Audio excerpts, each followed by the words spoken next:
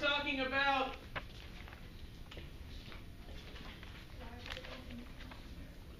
saving, trying to uh, save the environment and human problems, human uh, issues that are causing problems with our environment. 47.3 is the causes of extinction. And I left off yesterday showing this habitat loss is a big cause of extinction. Exotic species, pollution, overexploitation, and disease. And uh, these are just some pictures of some loss of the, the rainforest is one thing that's going very quickly. Another thing that's going quickly are the coral reefs, believe it or not.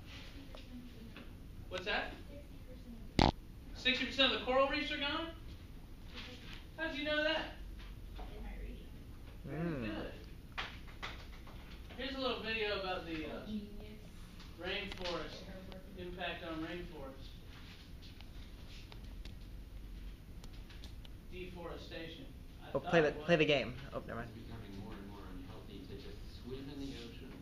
And all of these are are simple to understand um, canaries in the coal mine of much more subtle and scary disasters on the horizon. 70 countries in the world no longer have any intact or original forests. And here in the United States, 95% of our old growth forests are already gone. Ouch. In many cases, the forest will not grow back, and that land is then converted to grassland.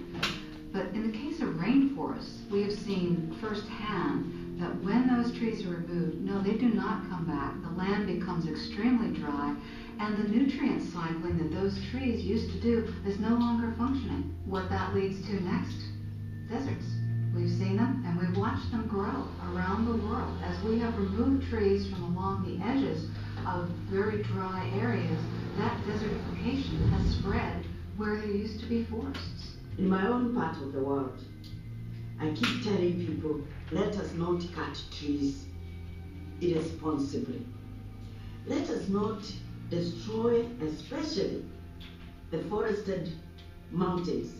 Because if you destroy the, the forests on these mountains, the rivers will stop flowing and the rains will become irregular and the crops will fail and you will die of hunger and starvation. Now the problem is people don't make those linkages. well over thirty percent of the soils of the planet have been put into the category of, I think, serious degradation. And the practices of agriculture is eroding that ecological capital that is as much, for all practical purposes, uh, non-renewable resources oil. One of the things we don't see or think about when we look at a tree is what's the volume? How much water can be contained there? It turns out to be 57,000 gallons of water in a 10 to 12 inch flash flood. It can grab that much water, prevent it from running off, captures it in that sponge, cleans it, puts it back in the aquifer. Take that one tree away, and you've got a flood, you've got soil erosion, you've lost those 57,000 gallons from the local water supply. And then that water is rushing on downstream, hurting people, hurting communities, ultimately polluting the ocean. We really could tip the ocean into a different state. The health of the ocean as we know it depends on the the water turning over, of the surface water sinking to the bottom and the bottom water coming up to the top. It's conceivable that we could turn that conveyor belt off by warming of the, the surface of the ocean a little bit too much. And if we do that, we, with all of our dead zones, we could make the surface, the whole damn surface ocean, stagnant. And that's a, that's a terrifying thought. The last time that happened uh, was the end Permian mass extinction, and more than 95% of all the That's a, that's a little clip from a movie called The Eleventh Hour, which I have up here that you can rent. Oh. That was, uh, that was done, um, by Leonardo DiCaprio, you ever heard of him? Oh, yeah. He Give a kinda quiz. narrates the whole thing, Do you have a quiz for that? but, uh, yeah, there's a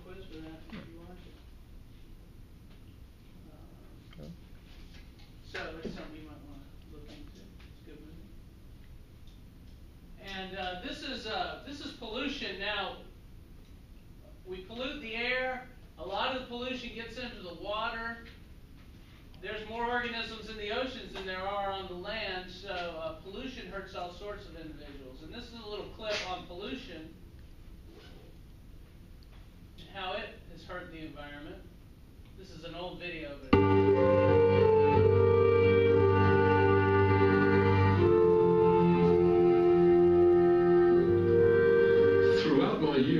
Studying whales, it's become increasingly evident that the problems they face are getting worse. When you spend a lot of time at sea, it's soon obvious that humans are devastating the oceans with toxic substances. We do this because of our false impression that the oceans are infinite. And that's what this program is about. We ask this fragile ocean to dissolve and absorb and purify and render harmless all that humanity produces.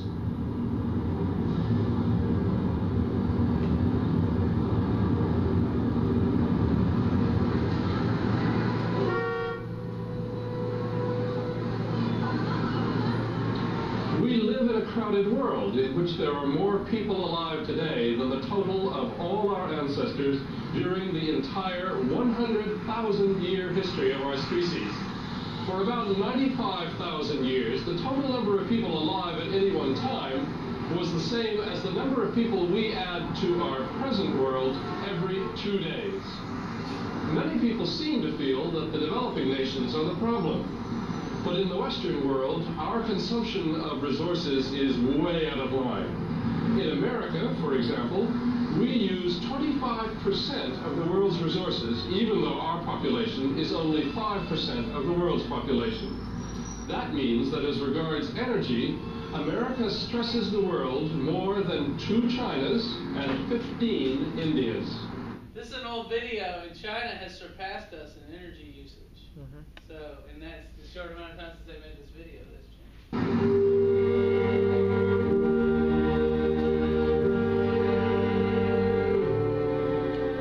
All we produce must, of course, eventually be thrown away. Cars, planes, houses, telephones, televisions, computers, paper, plastics, tires, even the factories that made these things eventually wear out and get thrown away, leaving behind nothing but the discarded goods they produced and all of the pollutants they discharge. The law is that everything we produce eventually ends up in dumps. And everything that ends up in dumps eventually leaches out into the water and from there into the sea.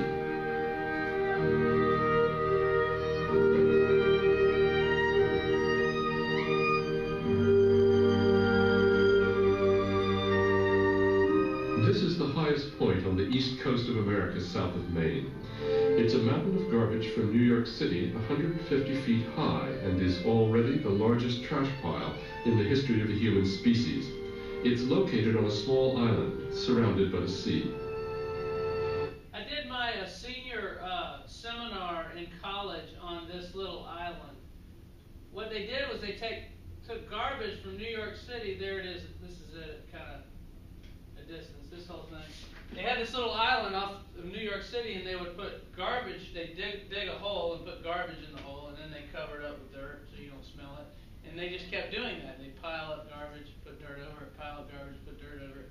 It eventually got 150, 200 feet high, and they had to stop putting garbage on it because it got in the flight path of planes that were going to land at the LaGuardia Airport. and it's the largest trash pile in the history of humankind anywhere. And whenever it rains, the rain just goes down through those all that trash and it leaches. It's called leaching. It comes out of the garbage pile all of these different toxins and leaches out into the waterways that are surrounding this little island. And there's no fish there. And they uh, they estimate that toxins will be leaching out of that trash pile for something like 35,000 years at a level so toxic that nothing can grow around here. Isn't that amazing? Hmm. Is it a Superfund site? Or is there anything you, there's nothing they can do I about it? I don't think there's anything they can do about it. It's so big. Wait, so where does the trash go now? Like, do they have another? They have to. They have to. Uh, They ship it off. They ship it out. They they truck it out, and it costs like to get rid of your trash in New York City. Here you have to pay hundred dollars a year. There it's like a thousand dollars a year. Wow. So it's just more expensive. That's right. Like they have barges that weren't allowed to dock anywhere, so they just drifted around the East Coast looking for a place That's to right. dump their garbage. They, they take it a uh, most of it to Canada now. So pollution is a is a bad problem. Now this is an exotic species, invasive species. That's kudzu taking over that house. It grew like that over that house in one day. I made that up. I always think that's a funny joke. Every year I say it. No, but it can overgrow a uh, an area quickly, and there's not native insects and such to hold it back. So uh, there are problems with the kudzu. And this is uh, uh, what is this a mongoose Mhm. that uh, they uh, released in Hawaii by accident, and it's killing all the Hawaiian birds. And so when a when a when a non-native species, uh, an exotic species comes into a new area, often it doesn't have natural predators, and they thrive very quickly. Uh, you may have heard about the pythons in the Everglades. Have you Oh, heard yeah. about that? They have bounties on them now. Yeah, somebody, some people, you know, had a python somewhere, you know, they maybe were keeping as a pet or something like that, and, and they got rid of it, they threw it in the Everglades, and now they're all over the place, and they get huge, and they're killing all the alligators and things. Um, they're becoming quite a pest. This is a chart of uh, global warming. Uh, global warming is due to carbon dioxide. Anytime you burn anything, it produces, pushes carbon dioxide into the atmosphere. Now, plants like carbon dioxide because they use it for photosynthesis. But we're putting in it into the air way faster than the plants can take it out of the air. And we're actually cutting down plants at the same time and burning them, which does just the opposite. Hmm. It takes the carbon that was in the plant's body and puts it back in the air as CO2. And when we do this, the atmosphere gets thicker and thicker. A thicker atmosphere holds more heat, which makes the air warmer. It's warmer now than it was just 10 years ago, and 50 years ago, and 100 years ago. It gets a little warmer every year. That's global warming. Scientists used to argue back and forth that is it really happening? It seems like it's happening. Is it true? And most of the re- all of the research has supported it. They haven't found any evidence that it's not happening. And here it shows the the chart of increase. And um, there's a, a famous movie called An Inconvenient Truth that Al Gore made about it. You've probably heard of. Um, that's one of the things we're going to watch after the AP exam. Here it shows coral reefs that are bleached. They're all white and dead because of global warming. And you wonder, how does that happen? It's actually because of the acidity of seawater. The carbon, extra carbon dioxide that's in the air, reacts with the seawater. Are you getting this, Jonathan? And forms a, a weak carbonic acid. Mm-hmm. And the whole ocean becomes slightly more acidic because of that extra carbon dioxide. And that acidity kills the coal, that kill, kills the coral. And the coral are dying out quickly. And of course, the coral are the base of the food chain in the ocean. So mm. one of the reasons there's a lot less fish now than there used to be is because you were helping, we're destroying those coral reefs. And who who did who'd have thought it that releasing burning fossil fuels would destroy coral? But it turns out that's what's happening. And I don't think it's anybody's fault directly. It's just something we didn't realize was going to be such a problem, and, and now we got to do something about it. Um, there's a, a problem with overexploitation. There's an extra reading section on page 917 that talks about the exploitation of Asian turtles. People grab these turtles and sell them as pets or as to make turtle soup, and turtles are very slow in reproducing, so there's a big problem with that. And of course, there are problems with overhunting and overfishing. They got these big nets that can catch millions of fish at a time. The technology is so great that we don't really give the fish time to reproduce and come back. We can kill them faster than they can, than they can uh, replenish their numbers. So that's a big problem because a lot of the a lot of people eat fish in the world. If you take fish off the menu, you've got problems. The bottom is a picture of the of an area after you drag a net through it. There's really nothing left. I don't know what that thing is, but they drag a net on the bottom of the ocean and basically taking everything with it. Mhm. Dragnet fishing is what they call it. Whoops. The book talks a bit about keystone predators. Predators at the top of the food chain, like these grizzly bears, which, when you eliminate a keystone predator, that uh, that changes the entire environment because they're the top of the food chain. So if you eliminate them, whatever they eat is going to increase in number, and then whatever those things eat is going to decrease in number possibly because there's more of those things, and you just you just set off the whole balance of everything. And um, uh, they talk a bit about old growth forests. Have you ever heard of the northern spotted owl? Mhm. It's a species that helps save some of the old growth forests because northern spotted owls can only live in these old growth forests. And um, some some ecologists realized that, and so there's a law in the books that says if you cut down a forest and it will drive a species to extinction, you aren't allowed to cut that forest. And by finding out that the northern spotted owl cannot live anywhere else except these old growth forests, these environmentalists were able to save the, the last of the old growth forests that were left in the, in the country, which are mostly in North, Northern California and Oregon. It's the only place left there's forest that's really old. Everywhere else has been cut. All the forests everywhere. Hmm. Isn't that crazy? Yeah. Can you imagine all that land? I mean, all the forests on St. Simon, they all were cut at one point. They came through, cut them all, and, and everything you see has grown back since. Yeah. Old growth forests are very rare. So we should be a forest right here at the school. This would have been, yeah, if there Yeah. weren't any people. Yeah. Yeah, but even going back, uh, St. Simon's was all cut uh, during the before the plantation era. They cut it, they cut down trees. They t- they took the wood, they shipped them to Epworth, they shipped the trees off. All of St. Simon's was cut for trees at one point. Uh, some of it ended in the USS Constitution. That's right. The old ship, Making yeah. the ships, yeah. This little uh, picture talks about what's called the edge effect. If you take a large patch of habitat, let's say this is a bunch of forest here. What part of that forest is edge?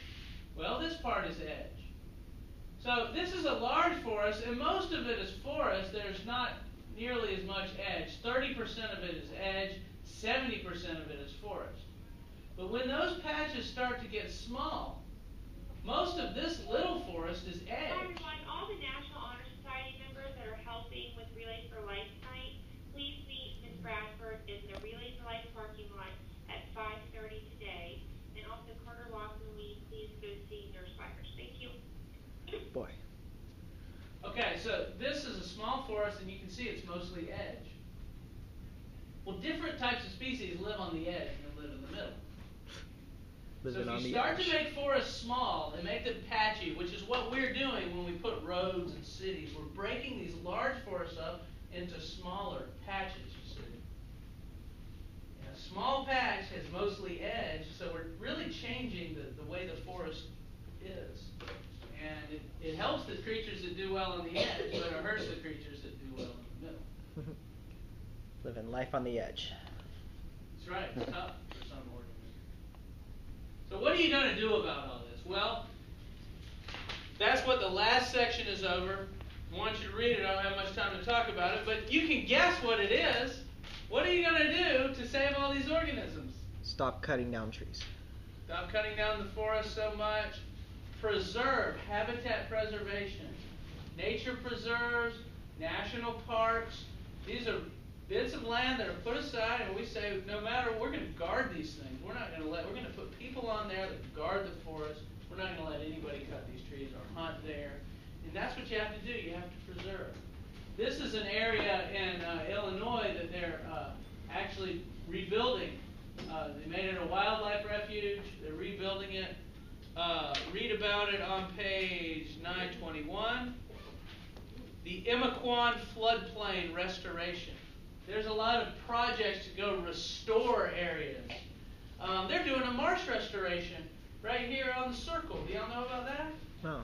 They're restoring, they're trying to restore this area around the big circle there, you know, in the middle where it looks like it's all kind of dead. They're going to restore that to the original marsh that, Seawater it- coming that in it was. with the tides, aren't they? What's that? They're letting the seawater come in with the tides. Let, letting the seawater come in, that'll bring little seeds of marsh plants. The Oh, marsh plants will grow there. That'll be marsh eventually. That is a marsh restoration project. And the more, it'll take years, 20, 30 years probably. Mhm. But the more that you can do in nature, the better. And it just takes, it takes commitment, it takes money, it takes knowledge. Mhm. But if you lose your biodiversity, you have bigger problems. So we have to be smart enough to be able to save uh, what we can. But what's the point of having the marsh in that circle if it's not connected to the ocean? Well, it will be. There, there'll be water coming underneath the road. Oh, underneath the Yeah, yeah. That's how they can get the marsh there. You can't have the marsh there without the ocean. Alright. Yeah.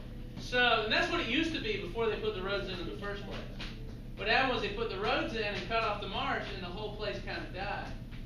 And now they put communication with the with the ocean, so the water can get back in, and it'll gradually turn back to marsh. And they're also going to plant some marsh grasses and such. Be an interesting thing to follow. Maybe you come back in 20 years, Sarah, it'll be a marsh. Okay. And then you don't have to throw things because you're angry about nature being lost. Okay. I'm so sad about that. Time to go.